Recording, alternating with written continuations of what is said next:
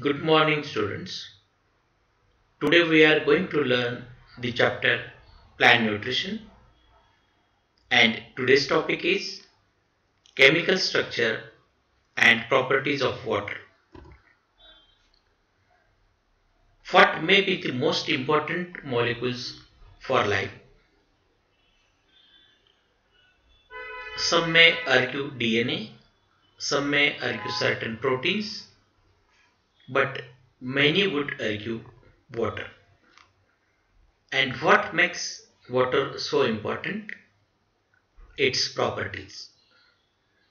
The nature of the three atoms and how they interact with each other.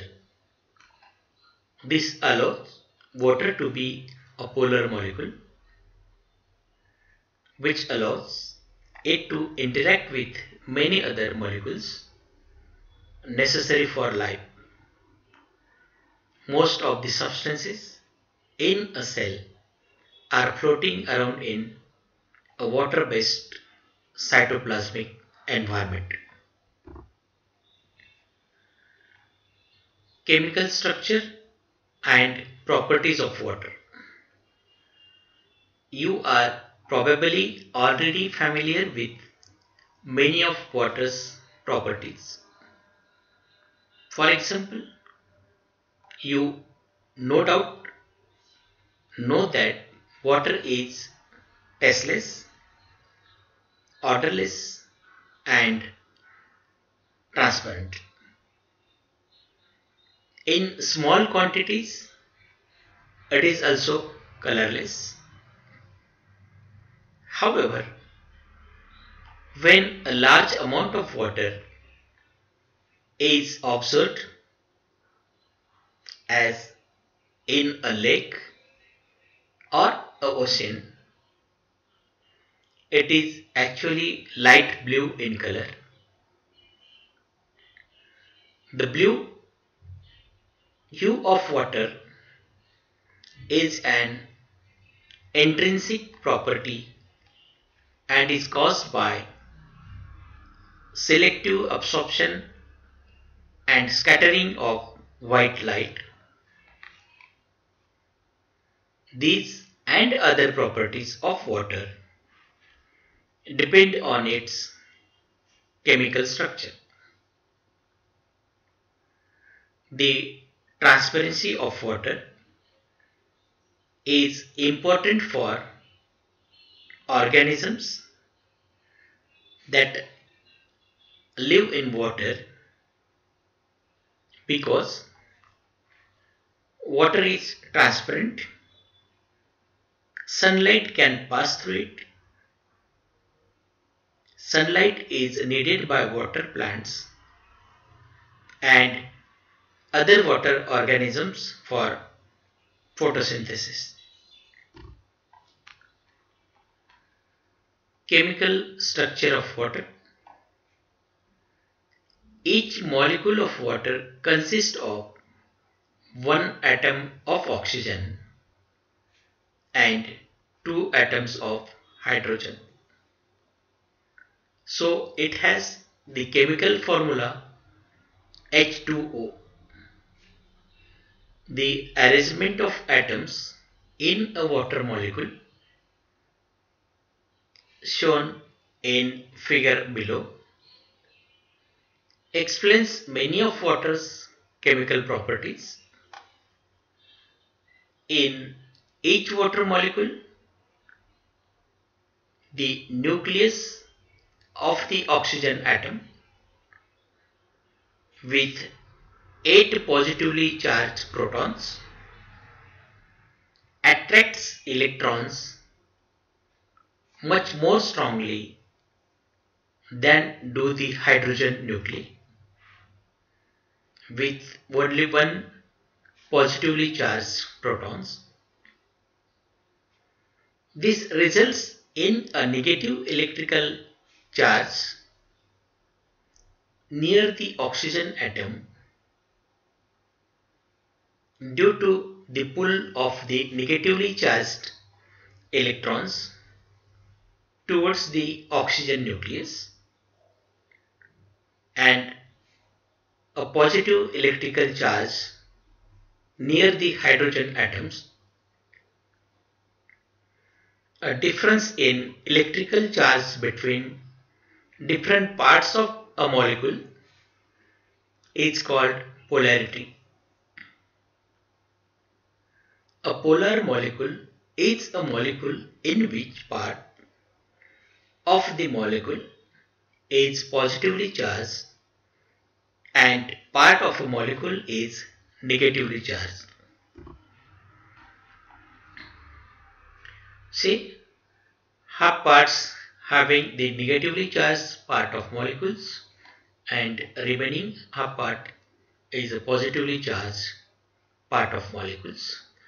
Two hydrogens and one oxygen molecules combine to form the complete water molecules H2O.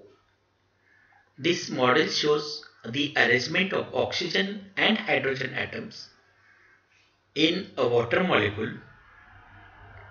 A water molecule has a bent or angular that means non-linear shape with an angle of about 105 degree. The nucleus of the oxygen atom attracts electrons more strongly than do the hydrogen nuclei. As a result, the middle part of the molecule near oxygen has a negative charge and the other parts of the molecule have a positive charge. In essence, the electrons are pulled towards the nucleus of the oxygen atom and away from the hydrogen atom nuclei. Water is a polar molecule with an unequal distribution of charge throughout the molecule. Unique properties of water.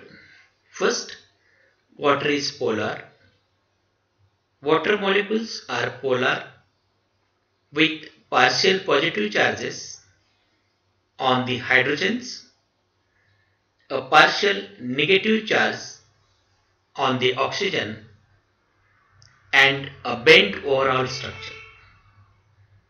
This is because oxygen is more electronegative meaning that it is better than hydrogen attracting electrons.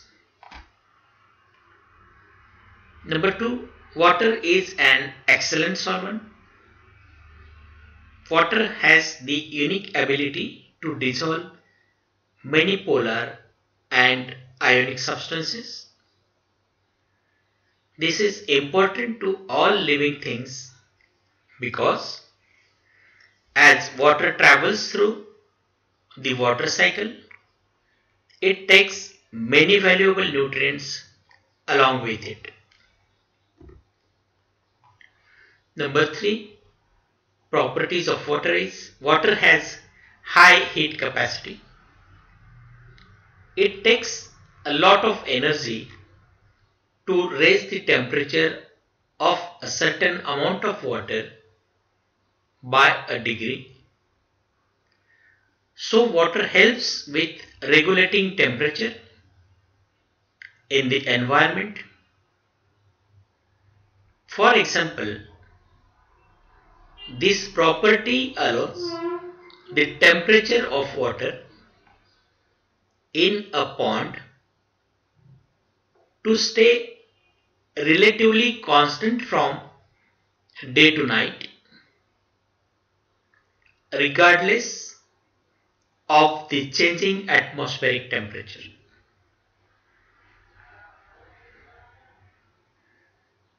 Number 5.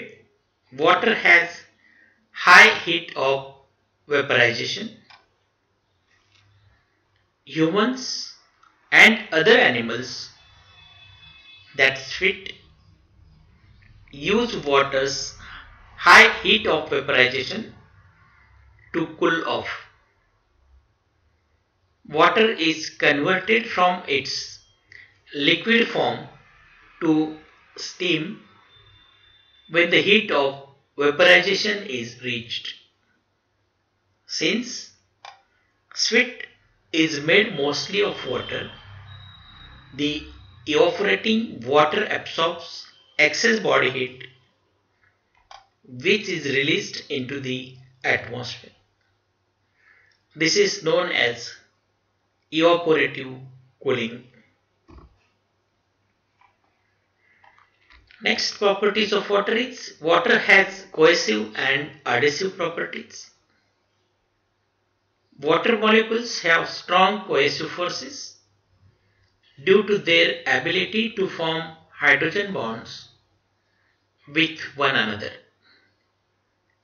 Cohesive forces are responsible for surface tension, the tendency of a liquid surface to resist rupture when placed under tension or stress.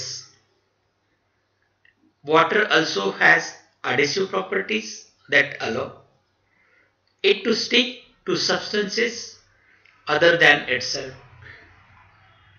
These cohesive and adhesive properties are essential for fluid transport in many forms of life for example, they allow nutrients to be transported to the top of a tree against the force of gravity.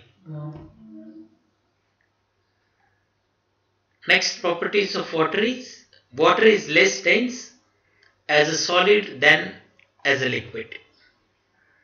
As water freezes the molecules form a crystalline structure that spaces the molecules further apart than in liquid water. This means that ice is less dense than liquid water which is why it floats. This property is important as it keeps ponds, lakes and oceans from freezing solid and allows life to continue to thrive under the icy surface. Next properties of water is water dissolves everything because it is the universal solvent.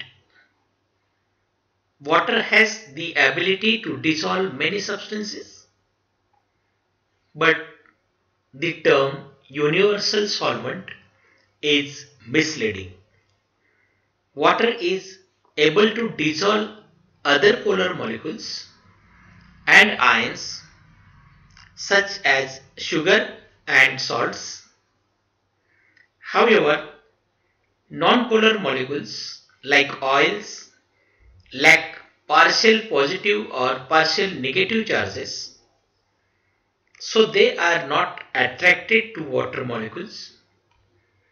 This is why non-polar substances like oil remain separate when added to water.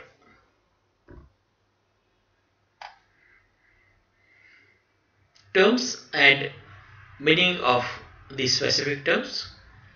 Polar molecules means a neutral or uncharged molecules that has an asymmetric internal distribution of charge leading to partially positive and partially negative regions. Cohesion means the attraction of molecules for other molecules of the same kind.